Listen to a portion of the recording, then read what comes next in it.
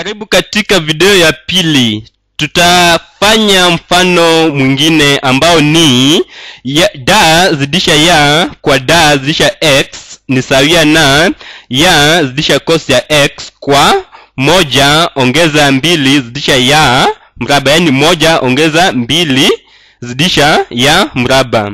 Hali za thamani hali ya awali ni ya zidisha sifuri katika mabano ni sawia na moja. Hiyo ndio hali ya awali. Basi tutaanza kwa kutenganisha ya kutoka kwa x yaani kuzidisha pande zote na moja ongeza mbili zidisha ya mraba. Tunapata mlinganyo ambao au jibu ambalo tutapata ni moja ya tukizidisha tunapata. Moja ongeza mbili ya tukizidisha pande zote na ya hatua ya kwanza tunapata moja ongeza mbili zidisha ya mraba katika mabano zidisha da zidisha ya kwa zidisha da zidisha x sawia na ya zidisha cos ya x. Tugawe pande zote na ya tunapata tukigawa pande zote na ya tutapata moja kwa ya ongeza mbili ya ongeza mbili zidisha ya katika mabano zidisha da zidisha ya kwa zidisha da zidisha x ni sawia na cos ya x.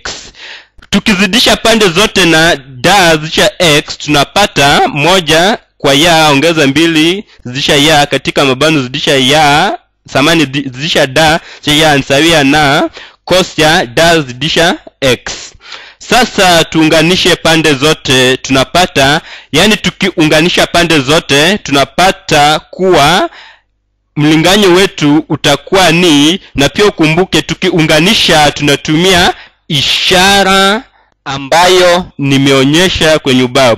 Tutapata asililogi ya ya usiobadilika. Asililogia ya usiobadilika ongeza ya mraba ongeza ya mraba. Asililogi tunapata kutoka kwenye mlinganyo wetu wa kwanza. Yaani tukitafuta usio derivative tukiunganisha jibu ambalo tutapata kwa sehemu ya kwanza ya mlinganyo itakuwa ni asililogi ya ya usiobadilika.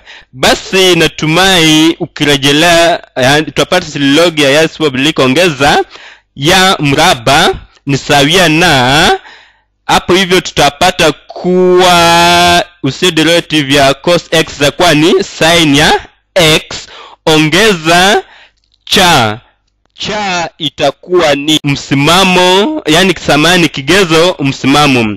Basi tukikuja juu tutapata kuwa hali ya awali ni ya ni sawia na moja. Tutapata asili logi ya moja ongeza moja mraba ni sawia na saini ya sifuri ongeza cha basi tukiona hapo vya asililogi ya moja itakuwa ni sifuri na moja mraba ni moja ni sawia na cha basi cha ni sawia na moja.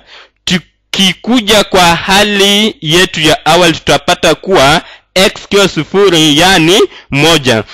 Basi tutatafuta suluhisho tutabadilisha cha na moja tutapata asililogi ya ya isiyobadilika ongeza ya mraba ni sawia na sin ya x ongeza moja.